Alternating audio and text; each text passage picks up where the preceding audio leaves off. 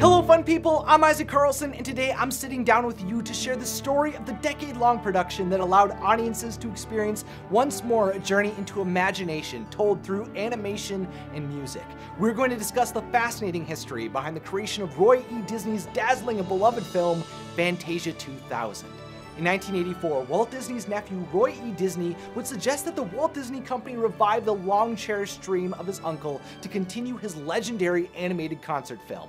Roy wanted to create a new Fantasia, now that he had finally taken some power within his uncle and father's company. That year, after Michael Eisner became chairman and CEO of the Walt Disney Company, along with Frank Wells as president and chief operating officer, Roy Disney was made vice chairman of the board, as well as the chairman of the animation department, which evolved to become Walt Disney Feature Animation. This regime change had come about because of Roy's frustration and disappointment in the old leadership who had stagnated creatively, were unwilling to evolve with changing audiences and technologies, and had recently been under siege by corporate raiders. In response to the many men who had referred to Roy as the idiot nephew since the days of Walt, Roy left his original seat on the board, launched a Save Disney campaign, pushed Walt's son-in-law out of the CEO position, and recruited Eisner and Wells to lead the company. With his family's company finally being brought down a new direction, early on in Roy's new role, he wanted to continue one of the greatest creative achievements of his uncle. Walt Disney saw the masterpiece Fantasia as a timeless piece of art that could never be built again, but only be improved and elaborated upon. That's why he had planned to have the film on continual release with new segments replacing older ones so audiences would never see the same film twice. But after it became a financial failure and received mixed responses from critics, the idea was dropped dropped. By 1942, all of the segments that were considered were shelved and wouldn't be revisited throughout the remainder of Disney's life. In 1980, though, two animators who had worked with Walt Disney, Mel Shaw and Wolfgang Reitherman, the latter being one of Disney's nine old men, started work on a feature film that would combine jazz, classical music myths, and modern art in a familiar Fantasia format. This film would present ethnic tales with music from the various countries around the world and would be called Musicana. But this was inevitably canceled to create Mickey's Christmas Carol in 1983. When Roy began to advocate for a new Fantasia a year later, unfortunately Disney Animation didn't have the resources to pursue that type of project at the time. And it didn't help Roy's idea was strongly advocated against by Walt Disney Studios chairman Jeffrey Katzenberg, who had come from Paramount Pictures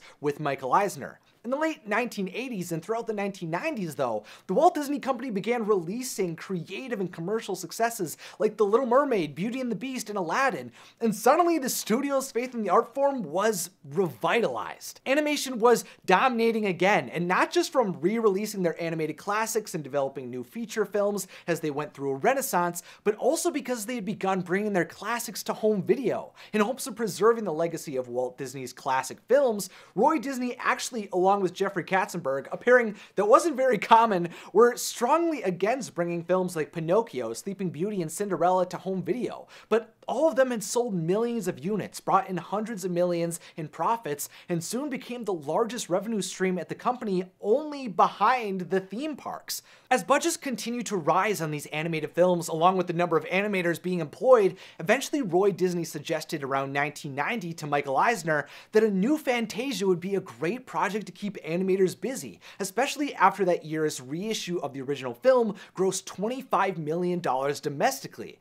At that same point, Eisner desperately wanted to release the original Fantasia to home video, so he suggested a compromise. Michael Eisner proposed that in exchange for Roy relinquishing his hold on Fantasia so it could come to home video, Roy would be allowed to use the proceeds of the home video release to finance a follow-up to Fantasia.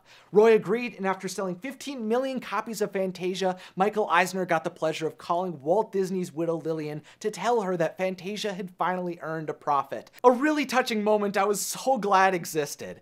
Walt's masterpiece was finally going to be carried on into the 21st century, and Roy, the man who had been cast aside all of his life, was finally getting his chance to craft an animated film to be a part of the Disney animation tradition. But unfortunately, it would follow in its predecessor's footsteps as an expensive, polarizing, and tumultuously created production, and would exacerbate the growing problems within the new leadership of the Walt Disney Company.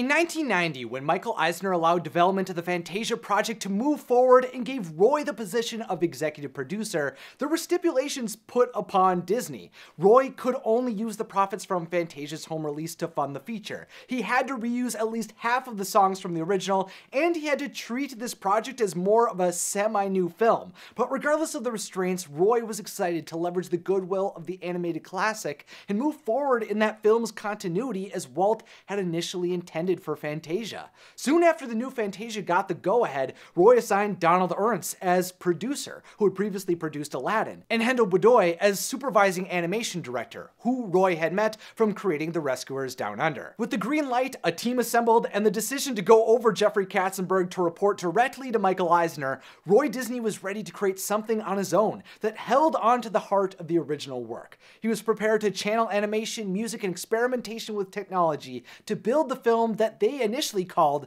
Fantasia Continued. The team had not fully come together yet though, as Disney knew that it was integral that they bring on a conductor to partner with to begin exploring what a new Fantasia could accomplish. Walt Disney had worked closely with the world-renowned conductor Leopold Stokowski to bring legitimacy to Fantasia, and Roy wanted to emulate that relationship with another musical artist. Conductor Andre Previn rejected being a part of this new Fantasia when Michael Eisner's ideas of including Beatles songs in early discussions came forward, while conductor Leonard Bernstein had shown enthusiasm for the concept but died before production even began. While Disney never had any interest in including any Beatles songs in Fantasia, as he believed them to be inappropriate for a film featuring classical music, looking back, Eisner was still extremely disappointed in the passing of Bernstein, as he believed that he had been the best suited to make Fantasia continue to success. Eisner and Disney just had differing ideas on the direction of the new Fantasia, and that would only become more clear as these two egos began to grow grow larger when Walt Disney Feature Animation became more successful. Eventually, in September 1991, Roy Disney and future president of Walt Disney Feature Animation Thomas Schumacher met with the Metropolitan Opera conductor James Levine, who was ecstatic for the opportunity to be a part of a new Fantasia. He was prepared to be collaborative, flexible to abide by the film format, and had empathy for the need to change classical music to allow all of the artists involved to explore music, sound, and animation. Fantasia had been a miracle that made Levine feel at home with music as a child, so he was ready to take on the daunting task of contributing to elaborate on the original. While James Levine's life as an abuser would eventually be revealed and would catch up to him years after the production on the film, at the time, Disney, unaware of Levine's horrible actions, was excited to work with the conductor after he instantly said yes to working on the new Fantasia. With their conductor secured, Roy and his artists began to study the content and structure of the original Fantasia Fantasia as they searched to find new music, imagery, and stories to tell. This would later be described as a painstakingly slow process, as Roy and his creative team sifted through the actual carbine that transcribed the discussions between Walt Disney and Leopold Stokowski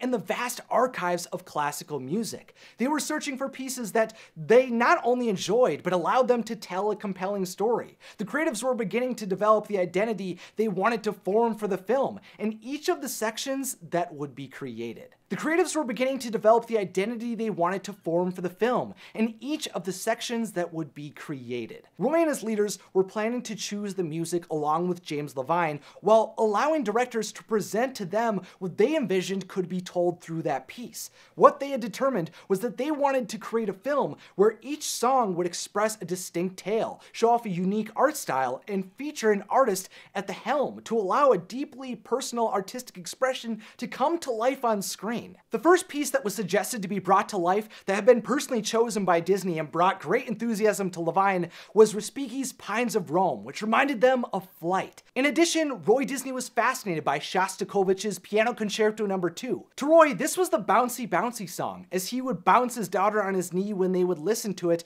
making him fond to the music. The team also became intrigued by the iconic nature of Beethoven's Symphony No. 5 and its captivating nature with its dun dun dun dun Dun dun dun dun! In 1991, specifically, a concept for Camille Saint-Saëns Carnival of the Animals was pitched by the writer and animator Joe Grant, a man who had created the evil queen in Snow White, had helped develop Pinocchio, and had co-written Fantasia. Grant suggested that this song be used as a sequel to Dance of the Hours from Fantasia, and should be focused on the ostriches discovering a yo-yo and fighting over it like they had the grapes from the original appearance. But during a story meeting with Michael Eisner, who was closely watching the Fantasia project develop over the years, especially as his relationship with Roy Disney became strained, suggested replacing the ostriches with flamingos. While the team enjoyed the idea of creating a unique identity for the short and adding more life to the visuals through the bold colors of those birds, which led them to eventually decide flamingos were the way to go, Eisner's interventions did become frustrating for Roy and his artists. The most clear manifestation of that was after Eisner attended his son Eric's high school graduation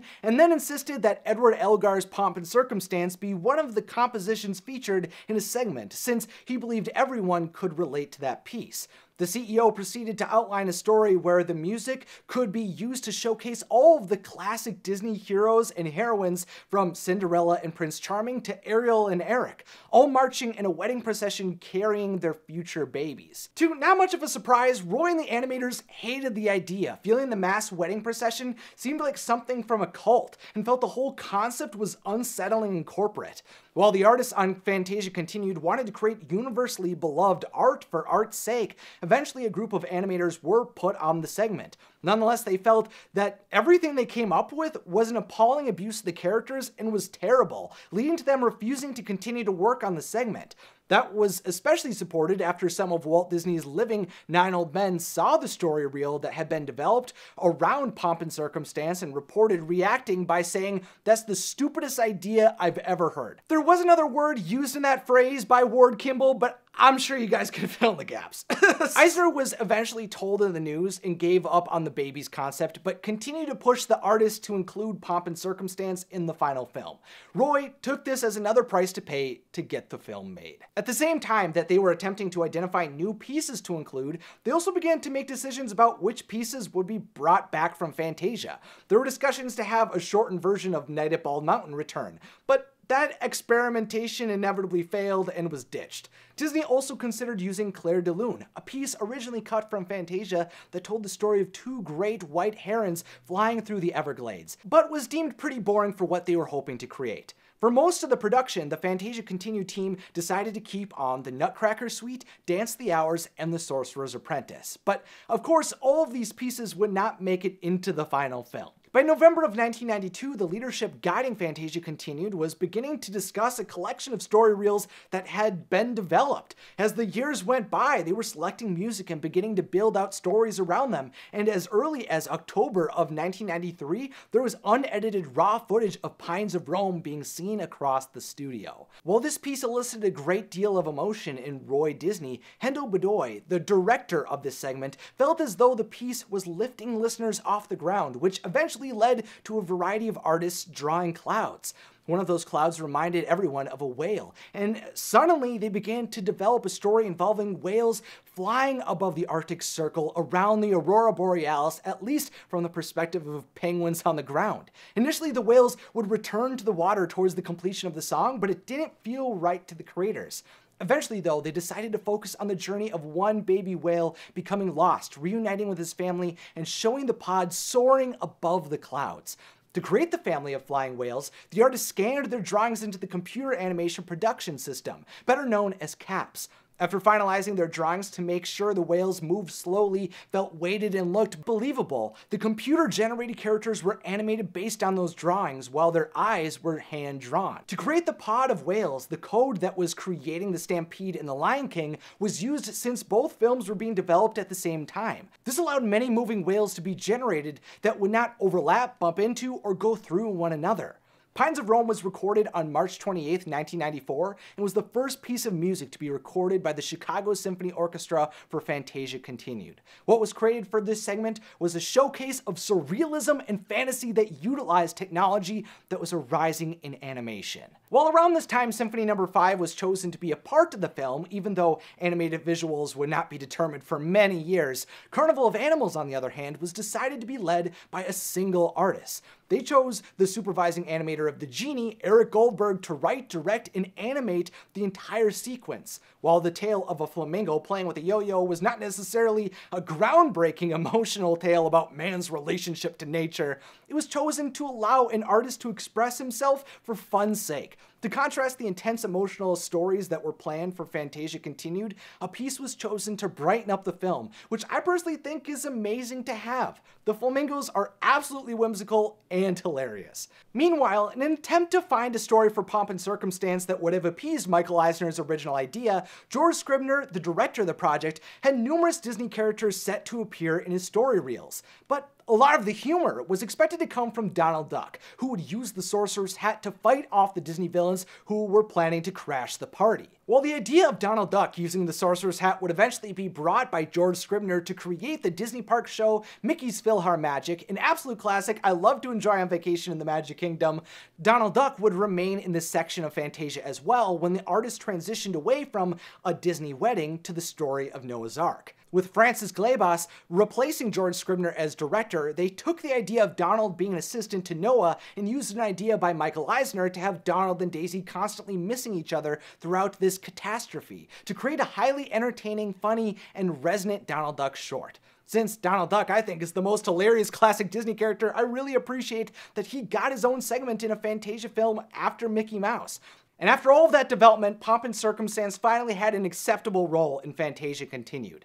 On April 25, 1994, just 22 days after the tragic death of Michael Eisner's leadership partner Frank Wells, the second recording session was conducted to add Symphony No. 5, Carnival of the Animals, and Pomp and Circumstance to the catalog of pieces for the new feature. While 1994 marked a massively successful year for Walt Disney feature animation with the release of The Lion King, the loss of Frank Wells was felt deeply across the company. Frank Wells was described not only as being stern and practical, but as a problem solver who was often the one who kept peace amongst the bold personalities across the company. He kept Katzenberg, Eisner, and Disney in check. Soon after Wells' death, Jeffrey Katzenberg would leave the studio after he vied for Wells' position as president of the Walt Disney Company, leaving Eisner and Disney as the two remaining powerful, driven, and occasionally egotistical leaders at the company. While Michael was seen as a man who was convinced he was the sole person capable of making creative decisions and believed himself to be the new Walt Disney, Roy was seen as a man who blatantly ignored the importance of commercial viability of projects and was without much creative talent. This led to them clashing clashing, and these disagreements only were exacerbated as the new Fantasia continued to grow into a larger project. Fantasia was taking a longer amount of time, using more resources, and was adding more segments than originally had been agreed, which frustrated Michael since he knew that the film wasn't going to be a new Lion King or Beauty and the Beast. The film would not lead to new hit characters for the theme parks and the Disney stores like what Pixar accomplished with Toy Story. Fantasia Continued just kept expanding in a dangerous way, but nevertheless, production kept going. After discovering the remnants of a compilation movie by Walt Disney that would have featured the stories of Hans Christian Andersen, and specifically noticing the storyboards for The Steadfast Tin Soldier, Roy Disney paired that story with the Piano Concerto No. 2, and it worked perfectly to tell the fairy tale. The Bouncy Bouncy song, with its highs and lows and cathartic experience, worked fantastically to tell the tale of the Tin Soldier, and once that was realized, the two works were inseparable. Before Toy story had even been released. To stretch the use of computer generated characters and create realistic looking figures, the Disney artists worked to successfully blend three dimensional characters with traditionally painted backgrounds. What was brought to life was realistic looking characters fighting for love in a fairy tale world that had a rhythm that drove the story forward. It introduced some very dark imagery into the film, brought together inspiration from Disney artists from throughout time, and told a classic and beautiful tale. Much like Pines of Rome, Piano Concerto No. 2 explored the technology of the era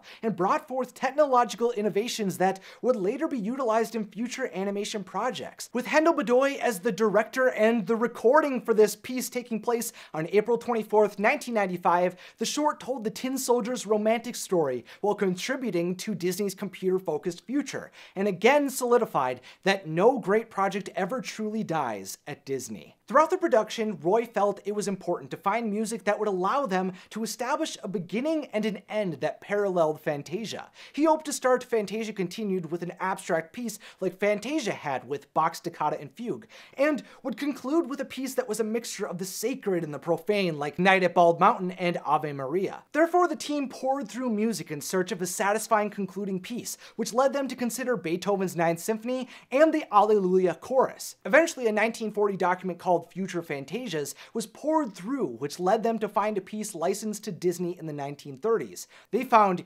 Igor Stravinsky's Firebird Suite. Paul and Gaetan Brizzi directed this segment using the inspiration that had come to Roy Disney while visiting the area where Mount St. Helens had erupted in 1980. With an idea of exploring the naturalistic rebirth of the land, through this piece they were led to build a story that showcased the forces of birth, death, and renewal. While this segment was primarily produced in Walt Disney Animation France and continued to put the artists leading the project to create the story as they saw fit, they also continued to implement CGI in a thoughtful way way. The artists rendered the horns on the elk in CGI, allowing them to create more consistent visuals compared to the time-consuming and inaccurate ones implemented in Bambi. This was the first time a traditionally animated character had traits that were created using computers, which would be a technique later used to craft much more complex elements on characters in films like Treasure Planet.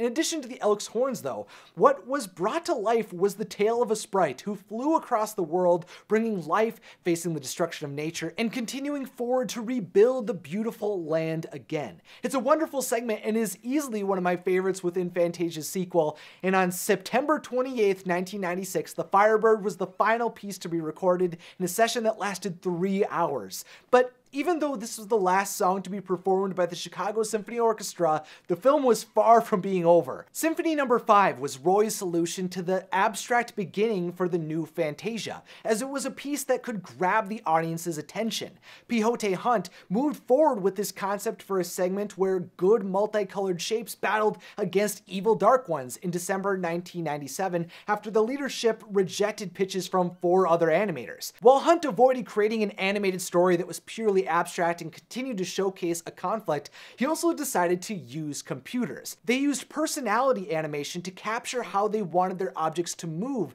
and scanned them into caps to bring the computer generated shapes to life. Over the course of two years, these CGI objects, their movements, and the special effects were then layered on top of pastel backgrounds to create Roy's captivating beginning. Around this stage in production, it was clear that Roy's artists needed more time beyond their theatrical release date of 1997. This led the company to push back the release date two years and led to Fantasia continued to be renamed Fantasia 1999. But inevitably, as the long-running project continued to need more time, the theatrical release was pushed back to the next millennium, which led the name of the feature to be changed one more time to Fantasia 2000. And as the release date continued to creep forward, there were still the live action moments to create, and there was actually still one more piece that would be added to the film. Don Hahn, the producer of The Lion King, was put in place to direct the interstitials for the film, which are the live action moments that act as a way to introduce each number, allow viewers to cleanse their emotional palate, and feel as if they are enjoying a concert. Instead of having a single host like the original Fantasia had, Fantasia 2000 decided to have numerous presenters who would exist with the orchestra in a vast, empty, and imaginary plane with show images on large shapes resembling sails.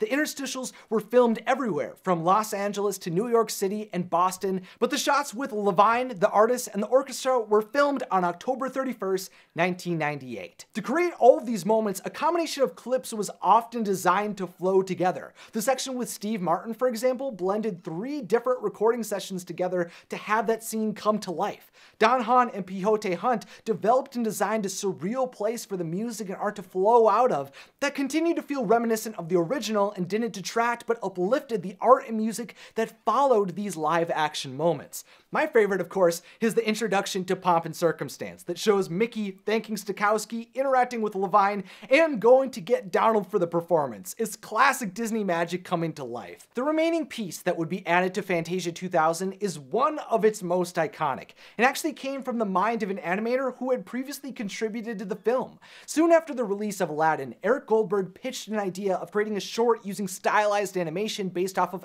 Kyle Hirschfeld's art to bring to life George Gershwin's Rhapsody in Blue. Hirschfeld was ecstatic to come onto this personal project of Goldberg's to work as a creative consultant, and the special project got greenlit on its own outside of Fantasia 2000 during the 1998 hiatus that existed on another Disney feature being produced titled Kingdom in the Sun. Under Goldberg's leadership, the animators used the jazz music that was created for the concert hall, which was performed by the Philharmonia Orchestra, to showcase the story of four groups in New York City pursuing their dreams during the Great Depression.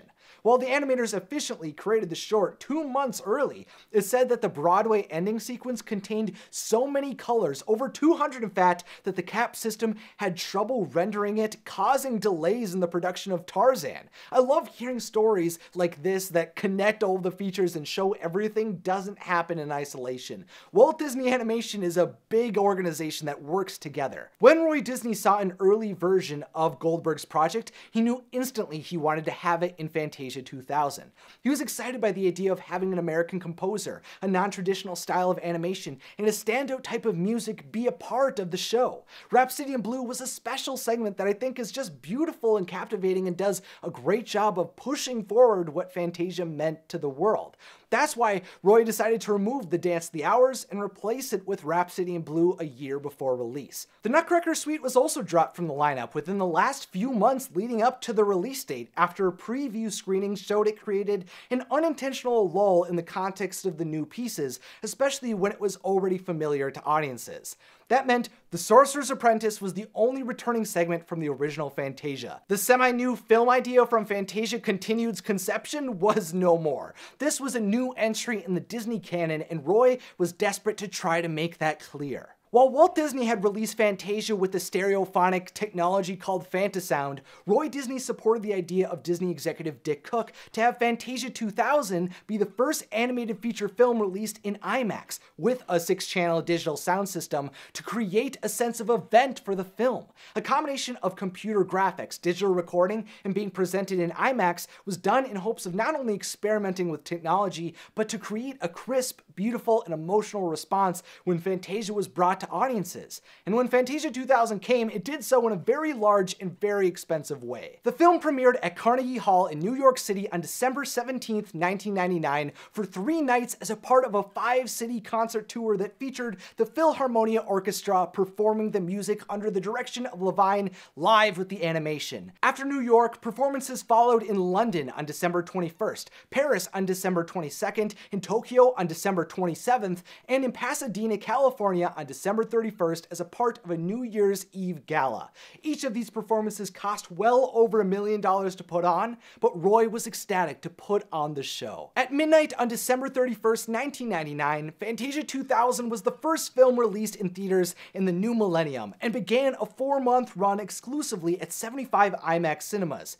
Each theater was decorated with a museum-like exhibit with educational material and large displays adjacent to the theater. Roy fought to keep the experience of Fantasia 2000 pure, which even led the Walt Disney Company to construct a temporary 622-seat theater costing almost $4 million for its Los Angeles run after Disney was unable to reach an agreement to only have the film shown during the four months at the city's sole IMAX theater at the California Science Center. While creative executives like Thomas Schumacher were concerned there would be little curiosity and interest when the film had its wide release. At the time, it did set new records as the highest grossing IMAX engagement, but unfortunately, even in its initial run, Fantasia 2000 was swept under the excitement of the Millennium celebrations audiences felt mixed emotions about the film. Some felt it was an entertaining experience for adults and children alike and was splendid entertainment, while others felt the whole performance was a giant corporate promotion that was too simple, breezy, and lightweight.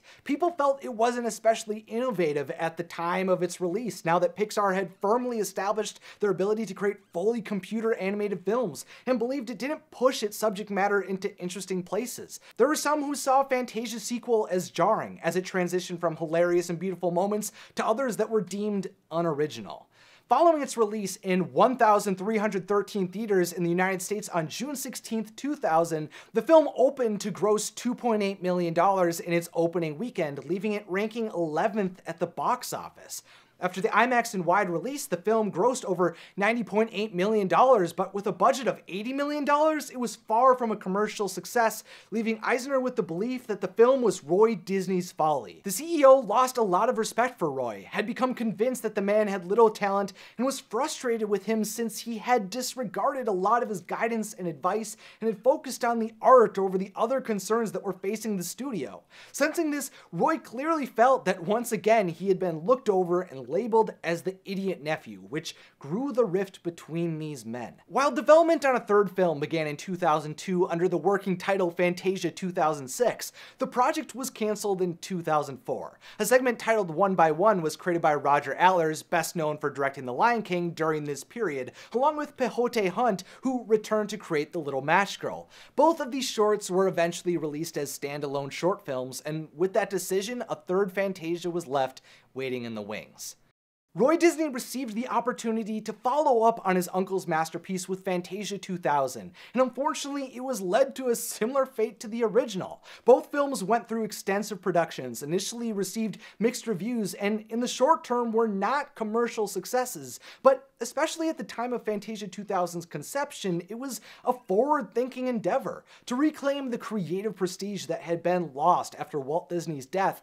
That man's nephew wanted the chance to prove that the Disney artists of his day were capable of utilizing unfamiliar visuals, exploring new technologies, and were interested in creating art. To look towards the future, Roy wanted to dive into a project from the past to allow his animators to reconnect with Walt Disney's legacy. But by the time the film was released, competition in the animation industry had become fierce. Production costs were soaring across all animated films, and the accomplishments of Walt Disney feature animation was dwarfed by other studios. With companies arising like Jeffrey Katzenberg's DreamWorks and Steve Jobs' Pixar, competition was only growing in animation as studios became focused on taking Disney's market share in this revived industry. Other studios were aggressively captivating audiences with compelling stories and new technologies, so a disappointment like this hurt in the changing landscape. The film wasn't a complete failure by any measure, but it paled in comparison to the praise and box office success of films that had come before it.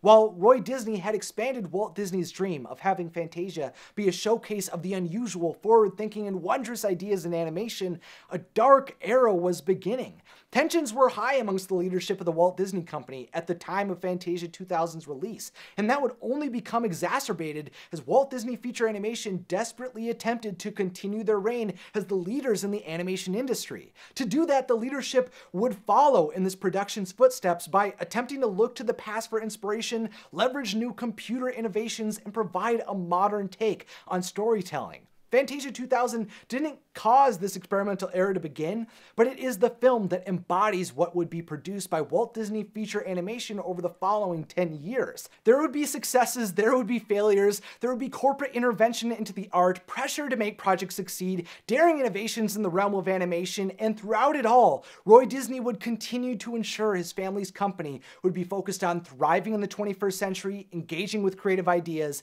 and would always have animation at the center of it all. I have loved having the opportunity over the last four years to discuss Disney animation theories, characters, and stories, but I'm also feeling super excited to apply what I've learned to take on a bigger project like this. This type of long form documentary is a video format I've really come to enjoy on YouTube, and I just came to realize that this is the kind of video that I want to see made right now. That's why when I began to discover this time period and I began to research it, all of a sudden I got this big surge of excitement and I knew this is what I wanted to make I want to fully explore this dark era in Disney history by discussing how the films during this period were made. And if you want to help support me when I do that and ensure that I'm able to continue developing different series like this one, please consider subscribing, sharing the episode, and supporting me over on Patreon, which is linked below. Over there, you can get access to the Discord, behind the scenes videos, and become featured at the end of videos as a producer. Beyond watching my videos or listening to those episodes on my podcast, Wotso Radio, it's probably the best way to support me and allows you to be part of creating the magic. Thank you for all of your support today, in the past, and into the future. Thanks for watching, and have a magical day.